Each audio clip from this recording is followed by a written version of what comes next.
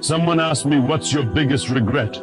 I said trusting the wrong people, believing their words, ignoring their actions, thinking loyalty meant the same to them, as it did to me. Then they asked, what's your biggest lesson? I smiled and said, learning to let go.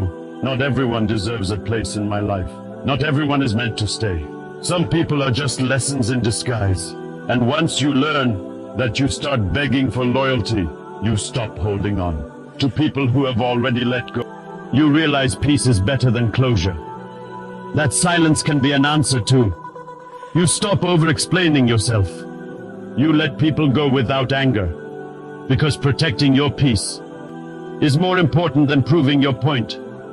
You stop chasing and start choosing you. Your growth, your healing, your worth. And that's how you level up quietly but powerfully and send this on to someone who needs to hear.